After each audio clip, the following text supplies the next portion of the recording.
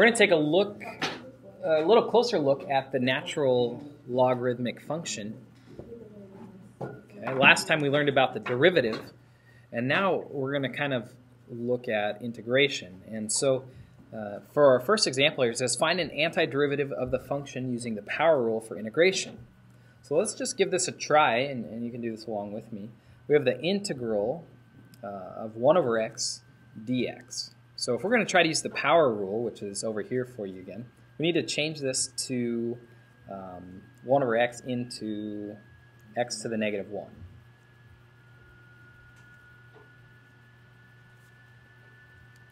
Okay.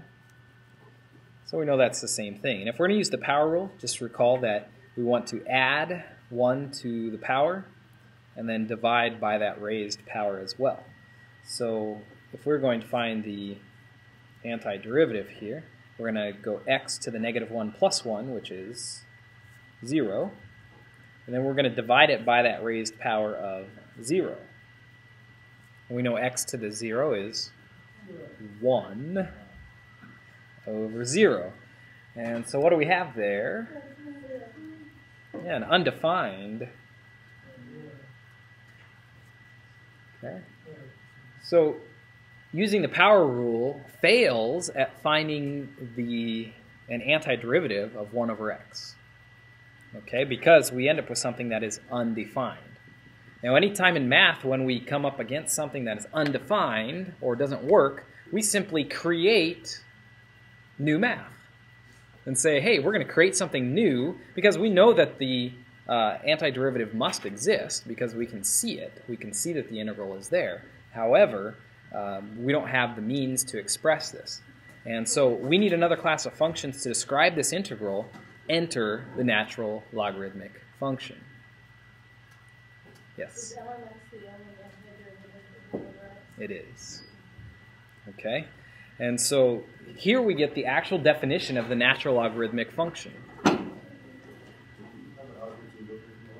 Uh, you can see if there's one over there. Okay? So, um, and this should not come as a surprise because last time, remember what we found was the derivative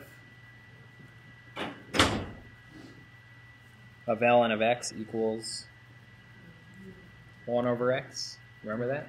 And we know that the antiderivative is exactly what it says, the antiderivative. So the integral is undoing the differentiation. So we could see here that if we wanted to undo 1 over x, we would get ln x.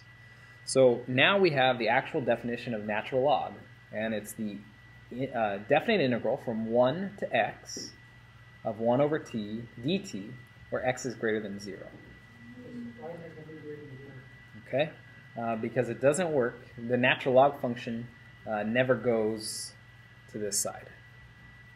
And um, yeah, we'll take a look more as, as we look at the graph in just a second. Oh, so one other thing about the power rule here. This is what we defined it as, but we're going to add this little stipulation that n cannot equal negative 1. And so the power rule does not work when n equals negative 1.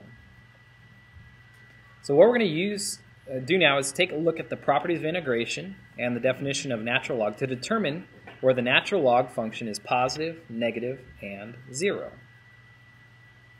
So here is your uh, 1 over x function. And so if we look at uh, the natural log function with its definition as being the integral, remember the integral finds the area under the curve. So if we're going to go from 1 to something that is between 0 and 1.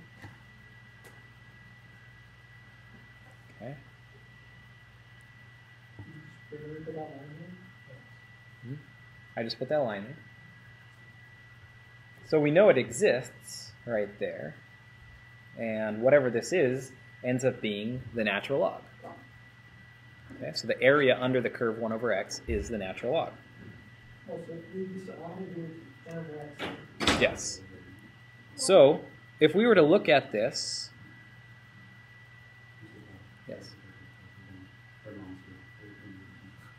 Sure. All right. I'm also recording this, so it'll be online. Distractions and everything. Gotta love it. Okay, so let's rewrite this. Let's just choose something like um, 0.5. And let's see what happens to the definition here. So the natural log of 0.5 is really what we're looking at. I just picked it because it was between 0 and 1. Okay, so let's go ahead and write it out using its definition. So we know it's from 1 to 0.5 of 1 over x dx. Okay, nope, look at the definition. It goes from 1 to x. So what you're thinking is we usually don't see the limits of integration written like this, right? We usually see the smaller one on the bottom. So what property of integration allows us to switch that? If I were to rewrite it this way, it has to be negative. Okay. So what do you think the natural log of any number between 0 and 1 is going to be? It's going to be a negative numbers. How about the natural log of 1? I think we learned about it last time using the properties. Um, well, it's a positive area, but the integral is negative because we're going from 1 backwards to negative 5. Okay? So natural log of 1, we learned was what last time? 0. Now we're going to prove that using our properties of integration. So let's use the definition of natural log. So this would be from 1 to x, which is 1. Okay. What do we know about integrating where the limits of integration are equal? Yeah, if we go from 1 to 1, we're not getting any area, so it has to equal 0.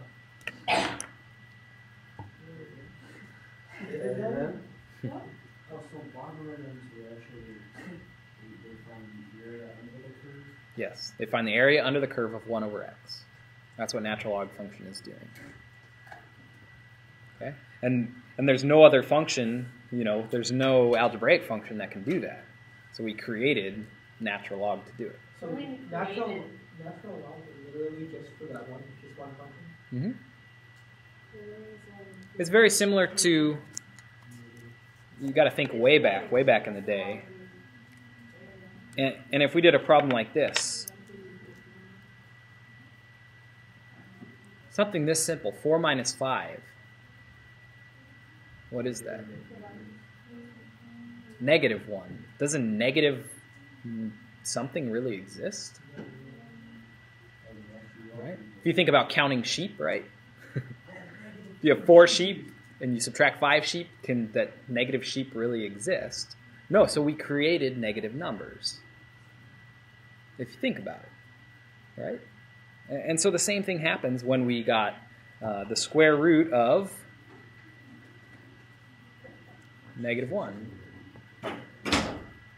So think about the square root of negative 1. So we know a square root means what times itself equals that number. So what times what equals negative 1? Nothing? Nothing. Nothing that really exists. So let's create something. Okay. So, so math, we're, we're creating this stuff to kind of describe our world because we know it does exist somewhere, some, somehow. And so that's the same thing with natural log. So how about natural log uh, greater than 1? It's going to be positive. And you can see that very simply. Let's, if we just go to 2, okay.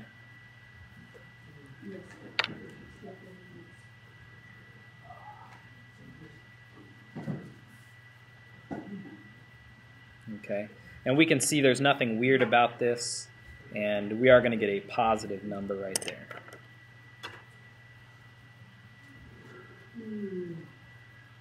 Okay, so if we come and, and look at, uh, let's let's look at the next one, next example now. It says use the first and second derivative of the natural log function to describe the graph of the natural log function. So f of x equals ln x. So now we're going back to what we did yesterday. What is the derivative of natural log? Yeah, derivative of u over u. So if we're just looking f prime of x, it's just 1 over x.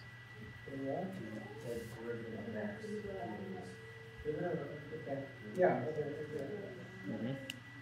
Notice, notice we could also do this this way now.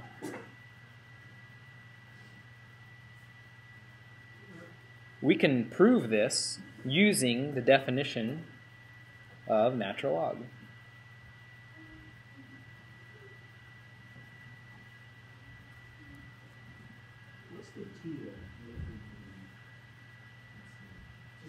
Oh, dt. We changed the variable um, so that it could be any other function. It could be u du.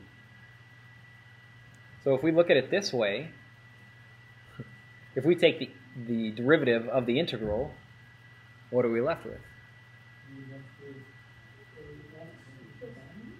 Just the function, right? Isn't that? Wait, what? What did I say? Is that a D one of the two? Yeah, that's a dt right there. Wait, it's DT. Just dt. I had written dx, but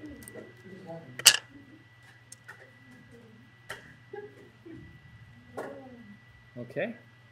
So second fundamental theorem of calculus, derivative of the integral of a function is just the function. Okay, so we just proved it using its definition. Now what's the second derivative of this? Negative. Can you go back to, to your software code? For this at all? Hold on just a second.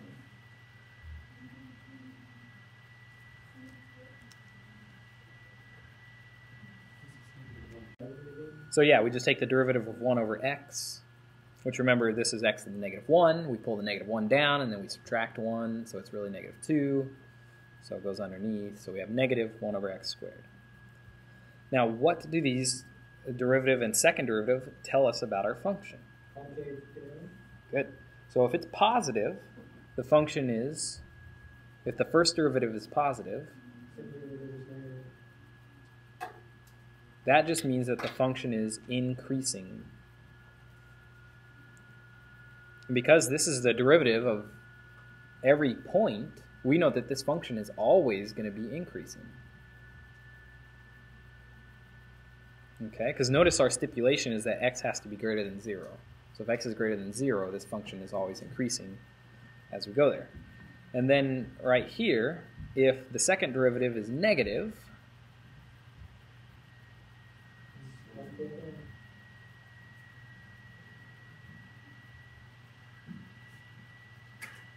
then it's concave down.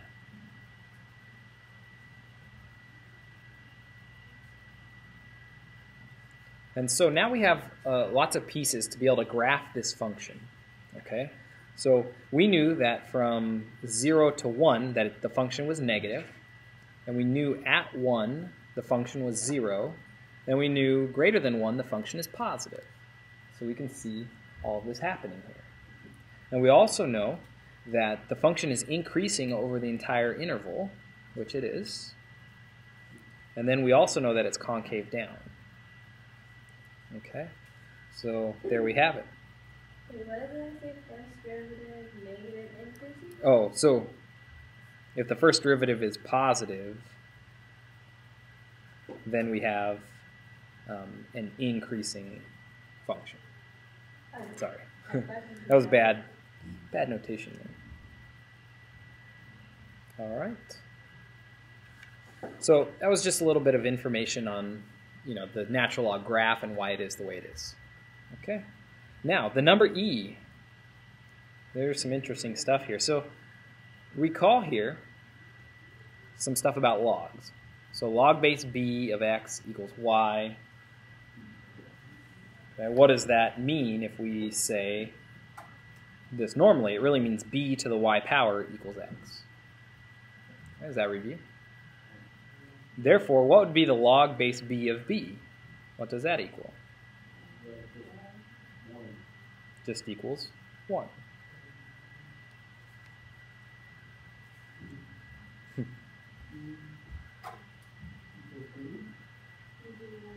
because b to the 1 equals b. So log base b of b is 1. Now let's apply this to this.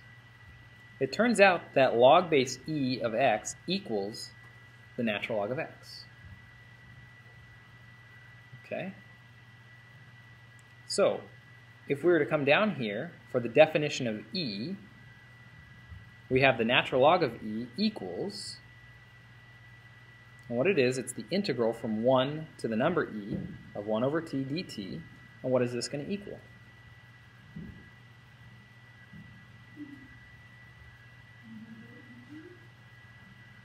Now let's come back over here. So log base b of b is 1. Log base e of x is ln of x.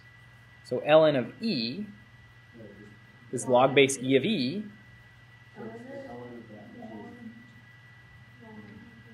Which is 1. Did everybody get that? So if we write the ln of e, we're really writing log base e of e. Well, what does log base b of b equal? 1. So e to the what power equals e? E to, the... e to the first power equals e. So what does log base e of e equal? 1. So what does natural log of e equal? 1. Okay. Well, let's think about what that means in terms of the, the definition of log now. Definition of natural log. Doesn't that equal the integral from 1 to e of 1 over t? So, if we come over here and we look at this, what the number e equals, it's that x value such that the area under the curve of 1 over x equals 1.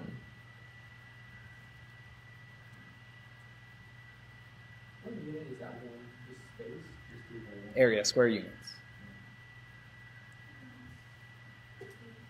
Is that weird? Because it looks like the one point seven. Okay. So the number e is 2.718, so on and so forth. All right? And you guys have dealt with e, and it has to do with e- exponential stuff. But really, what it's telling us, it's the limit from 1 to e gives us the area under the curve 1 over x equals 1. And that's the only number that does that. Um, I don't understand for like the the one over two dt Mhm. going from one to e. Yeah. I don't understand how that equals e. Why why wouldn't it equal one over e like the one? Right here. Yeah. So this is the integral from 1 to e of 1 over t dt. And that's just the definition of natural log. Are you okay with that? So natural log of x, and see it's the integral from 1 to x. So if we're doing the natural log of e, it's the integral from 1 to e. Is that okay?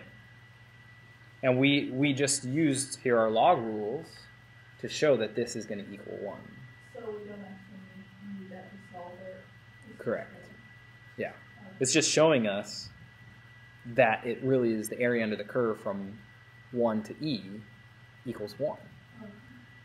To make that relationship in our brains because you've probably heard e and you've probably seen it thrown out there but you didn't understand what it meant. Now you understand what it means because you understand calculus. Okay? So we'll do a couple qu- quick examples here. Natural log of e to the 0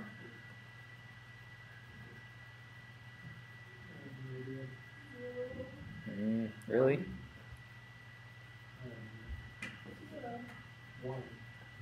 It's 0 okay anything to the 0 power is 1 ln of 1 is 0 Oh.